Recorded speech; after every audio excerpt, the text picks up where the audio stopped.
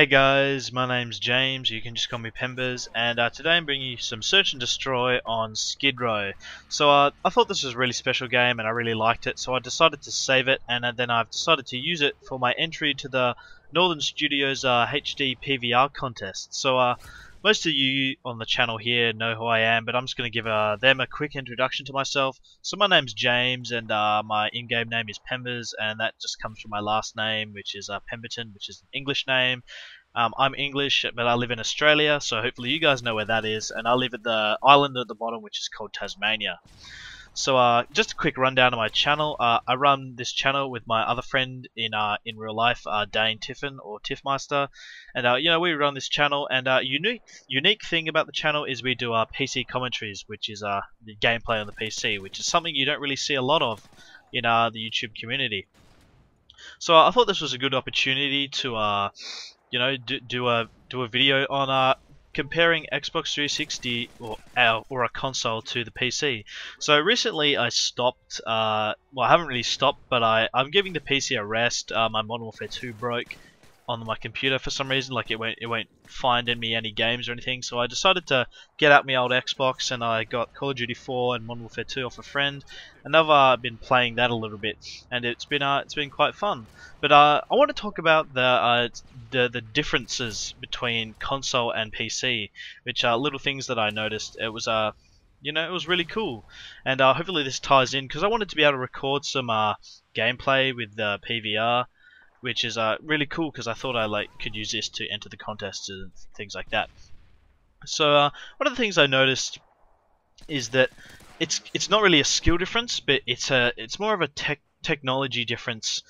Um, that uh, people on Xbox, there's a greater sense of teamwork because uh, when you buy the Xbox, you get that like that little little mic like microphone thing. So everyone's really talking to each other but then it, it makes for if you don't have like a really good headset like a pair of Trittons or Turtle Beaches or like things like that uh, you lose out on the surround sound which improves your skill in the game of being able to hear like behind you which is uh which is really weird. So you've improved teamwork because everyone has a mic and they're talking but all the players lose skill if they don't have uh, surround sound headsets but on the PC uh, a lot of people have the headsets, but no one really talks. Like the, that that uh team communication is very rarely uh really there. But then on the other hand, that the players that you're playing with have that increased uh like inc- like advantage of the surround sound of being able to hear people because I notice on Xbox like a lot of montage moments like this as well. You can run up behind people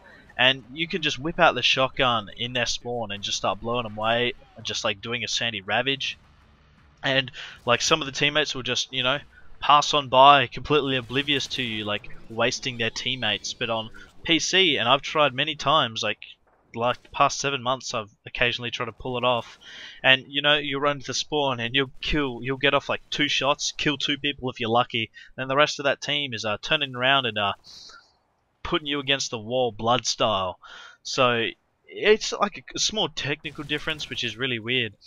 And uh, so yeah, the other differences between the, uh, the, console and the PC is a lot. Lots of the other PC first-person shooters have dedicated servers, which are like I don't I like the ping idea about the dedicated servers, but I don't like how it's controlled because you have these servers that have like 20 people aside, and it's just ridiculous. Especially, it's kind of like a double-edged sword. Like you get the good ping, but for for most people it wouldn't really matter. But for me as a commentator, it gets quite frustrating to get good gameplays because one the match time is increased because you can like customize everything. The match time is increased by a lot like it's like 25 minutes so that means I can't cut the games which is really annoying and people on Xbox can play like domination games and stuff and be able to like fit them into the time limit. But since I can't do that um it's yeah it's uh it's really annoying and I completely just lost my train of thought so I was talking about oh yeah cutting the games and uh, with the the amount of people on the server uh, there's no like there's no never any free spawn systems, which is it's quite annoying. So when I try to get a good score, like in terms of just me playing casually, if I go 70 and 20, like that's a good score in game. But for a YouTube video, that's like it's not really on par with like other commentators, which is quite frustrating when you get like you do get a good game but it goes for 25 minutes and I really hate cutting videos like I really detest it I don't know what it is about it but it just doesn't. It feels more like a highlights reel than like me actually showing you how I'm playing the game, which is really really annoying. Uh,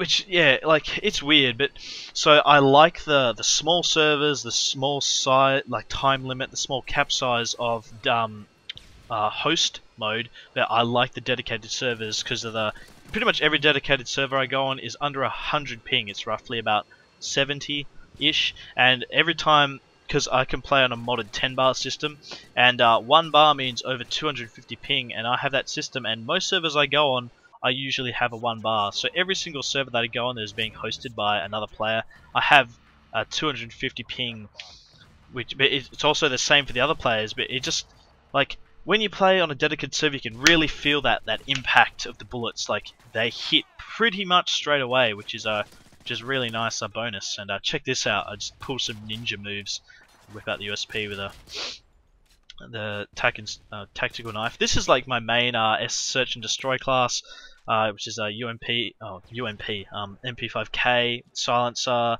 with Marathon Pro, Stopping Power Pro, Ninja Pro with the tactical knife with the USP, and yeah, it's just kind of like my my S&D class. I really like the uh, MP5K. It's like my it's like my god weapon. Like most for most people, it's yeah, the UMP, but for me, like it's this gun, and I really like it. So uh, yeah, uh, the pretty much the tactic I employed in this search and destroy game is pretty much I just ran the same way every single time. Uh, I think we played a match before with this team, and they weren't too uh weren't too smart, so you know I employed the same tactic. And uh, okay, so the next round we uh lose. I do do believe my two deaths are caused by me getting overconfident, and uh, I tried to take a guy with an assault rifle, and I think I died just up here, which is kind of annoying. So uh yeah, so uh, yeah, if you've been wondering why I haven't been making very many videos of late and I haven't been uh, playing Modern Warfare 2, uh, it's because it's been broken and like there's nothing to really commentate about that video anymore. Like I try to get other gameplays, but they're just not uh, suitable. Like they go for too long and I don't like cutting them. So uh, if any of you guys want to play with me on Xbox, I'll uh, load it located in the Asian district. Uh, feel free to add me. My uh, my name tag thing is in the channel uh, description, like on the channel page. So please don't leave any comments saying what's your uh, fucking gamer tag or whatever, because that'll uh, annoy me.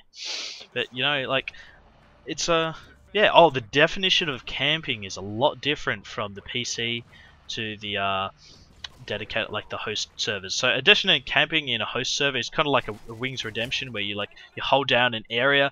The definition of camping over PC means you get like the LMG sorry, I burped there, and you hide in the corner, and then you just kill anyone because there's that amount of people.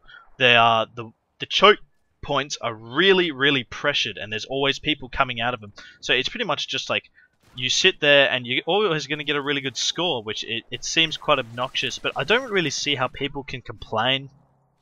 There's just that many people that there's that much bullshit going on that it's just kind of the normal. Like you get naded out of nowhere and you'll just cop bullets from like through a wall just because some guy's got his LMG and is spraying it. But uh, that video is coming to an end. I thought it was a pretty special search and destroy game. Uh, 15 and 2, you know, not the best gameplay in the world, but I thought it was pretty nice. And I hope you guys at uh, Northern Studios like it. And, uh, you know, thanks for watching, guys, and I'll see you later.